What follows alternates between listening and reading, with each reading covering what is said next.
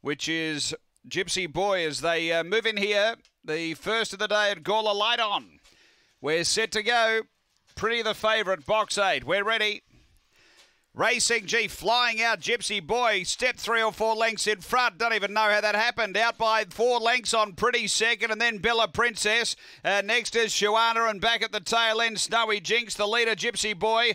Pretty's out after it a length away now. Three away, Sahana up to the bend, and Pretty's moving to Gypsy Boy, who's trying to lift. It's Pretty getting clear though, and Pretty goes on to beat Gypsy Boy. Sahana was third, and then Snowy Jinx, and back at the tail, Bella Princess. The time here is uh, 23.36 after the running of race number one. And uh, Pretty gets the prize. Number eight uh, for Jack Trengove was able to chase out after the uh, the tearaway leader who managed to uh, step clearly in front. It's eight from one, two third.